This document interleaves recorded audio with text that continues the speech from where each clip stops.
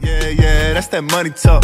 That's that money talk. Got a lot of fans, a lot of haters. We just let them talk. Cause them never faces to the paper. What you talking about? The earth will really shake it with this craters that we throwing out, yeah.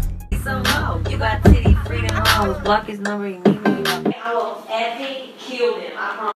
What is up, you guys? It's your boy T-Rex back with another video, and today we're talking about the Dallas Cowboys. So if you're down with that, make sure you smash that like button, hit that subscribe button, turn on post notifications. You know like keep that name game strong and show everybody know. Let's get right into it. So the Cowboys just um released Brett Maher, and can I say terrible timing? Like really, if they were gonna do it, they should have either waited like after this week I mean, I I guess you don't want to wait after this week, but like, okay, so today they were at the team was at a children's hospital, and they were um, you know, they were with the, they were playing with the children and stuff, and we just released him today, and it's like that's like poor awareness by the by the team. Like you're gonna release him while he, he's out doing charity for us.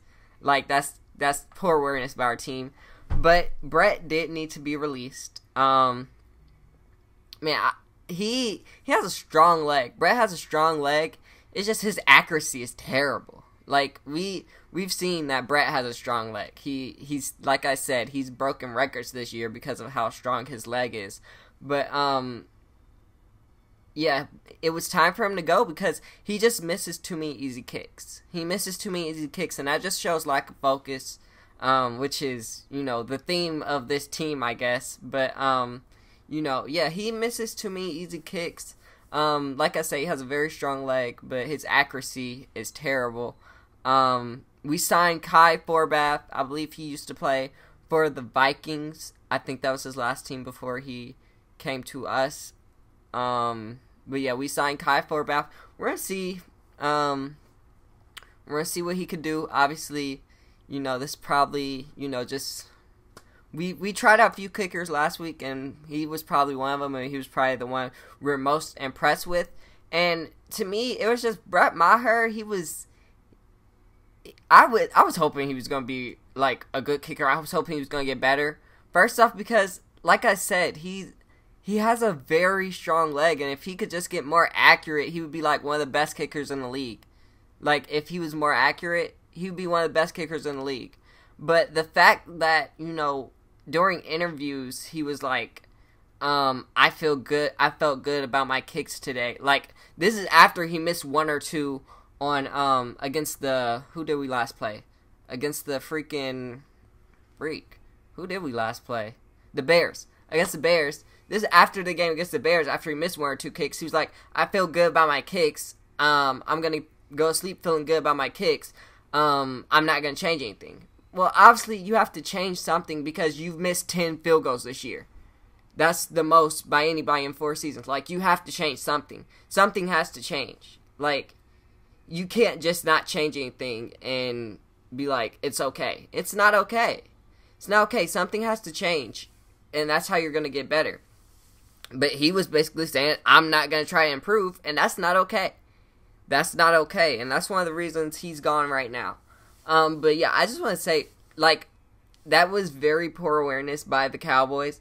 I wish we did it either right after the game or like a day or two after. But I mean, any day but today. Like you know, Jerry Jones, Stephen Jones, everybody knows that our team is out right now, and we're doing charity for these hospitals and stuff. And so that that's kind of weird like being there, him being there with the team, and then all of a sudden, hey, you're not with the team anymore, Brett. You can go home. Like that's kind of weird. Plus, I want Brett to be good because um, the first Cowboys game, well, not the first Cowboys game I've been to, but the first Cowboys game I've been to in Dallas, um, I got Brett's my autograph. That was pretty cool, and so, and that was he had a game. That was when he had a game where against the Lions last year and that was pretty cool. So I was hoping he was gonna be good because you know the autograph can mean something, but now he's like gone, and so you know he's hit a couple game winners, he's broken a couple records. So I mean, I guess it means a little bit, but you know he didn't really leave a legacy. Now we're just on to the next kicker, and I hope Kai Forbath. I just want Kai Forbath to be accurate. Like he don't even have to hit the long kicks that Brett Maher makes. Um, I just need him to be accurate. I just want to be accurate. That's just that's something Brett Maher lacked, and you know a lot of kickers since last year, maybe the year before, have been their fil- their field goal percentage has went down for a lot of kickers. You know, the exceptions are probably Justin Tucker, who's the goat, um, Harrison Butker, who's a beast, and maybe Greg Zuerlein, um, and Stephen Gostkowski, who's hurt right now for the Patriots. Those are probably the four exceptions of field goal kickers, but everybody else has been struggling. Their field goal percentages are going down. And I don't know what the reason for that is, but maybe maybe they're going on strike saying we need to pay more, get paid more, or what. But hey, they Oliver, our our percentages are going down. But Brett, he was a he was a um he was an outlier among like the rest. Like, how are you an outlier when everybody else is bad? That's that's pretty bad. He was an outlier when everybody else was still bad. Like that's that's terrible. That's terrible. But um, yeah, we released Brett. We play the Rams on Sunday. We gonna see how Kai Forbath do throughout practice this week and the game next week. Um, we gonna see how the Cowboys come out. Um, practice this week and during the game next week. Um, hopefully they come out with a different attitude, some more energy. We're gonna see if they're try- actually trying to get to the playoffs or if they're just still, you know, lagging behind. If they're still done. But um, that's it for this video. If you liked it, make sure you smash that like button, hit that subscribe button, turn on post notifications, you know they keep that night gang strong. Share with everybody you know. And I'll see you for another one. So, peace. This is for them shotties with them dollars. This is for them shotties that don't need a baller.